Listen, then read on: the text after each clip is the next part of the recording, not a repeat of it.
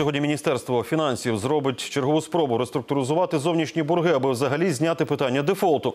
Цьому передували переговори радників у Лондоні. Сьогодні ж телефоном справу мають залагоджувати представники Мінфіну та спеціального комітету кредиторів. Ціна питання 15 мільярдів доларів, і їхньої реструктуризації вимагає в першу чергу МВФ.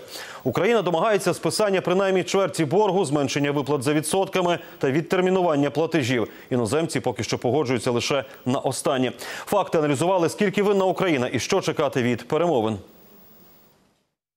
Важко брати кредити та ще складніше їх віддавати. І біда не в тому, що наші зовнішні запозичення сягають 70% ВВП, а у тому, що це дуже дорогі кредити.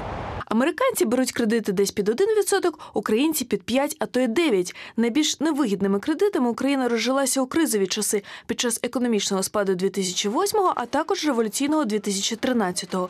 МВФ тоді Києва відмовив і довелося побиратися у Росії. Кремль пообіцяв 15 мільярдів, нібито як допомогу братній країні.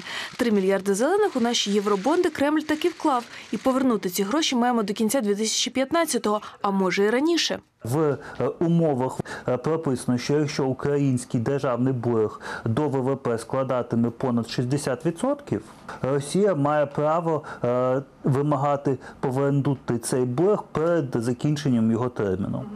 Е, Відповідно, в нас через те, що в нас відбулося досить значне ослаблення гривні, е, в нас е, державний зовнішній борг він дуже сильно зріс. У випадку з Росією Україна спробує через міжнародні суди довести сусідка відібрала в нас більше.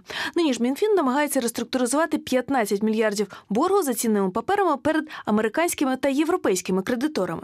Частково борги висять на державі, частково на великих держпідприємствах. І реструктуризації цих кредитів вимагає МВФ. Інакше нам не бачити нового траншу. Деньги, которые приходят от Мирового банка, Международного валютного фонда, это тоже относительно дешевые деньги, их дают по 3% годовых.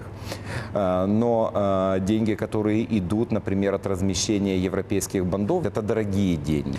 Даже если удастся сбить э, вот этот процент, порядка тогда 5% нашего ВВП э, будет тратиться на конец этого года на обслуживание Міністр фінансів бореться за реструктуризацію з березня та визнає, сподівалася, переговори будуть легшими. Розмови з кредиторами тривають щодня, як і у простих українців, котрі не можуть чесно розрахуватись за квартиру. Чи ви колись про- починали купувати квартиру або машину і вели переговори? Ви знали конкретно, коли скінчаться ваші переговори по закупівлі квартири? Нам потрібна реструктуризація боргів, тому що це неможливо в кінці кінців до, до самого кінця не робити зменшення, вибачте, е, нашого т- того тягару, який є на бюджет. Мы с вами вместе следим э, за процессом. Процесс трудный, нелегкий, А, но я верю, что Переговорщики с нашей стороны самого высокого качества, это и Лазарди, сама министр финансов, и мы обязательно достигнем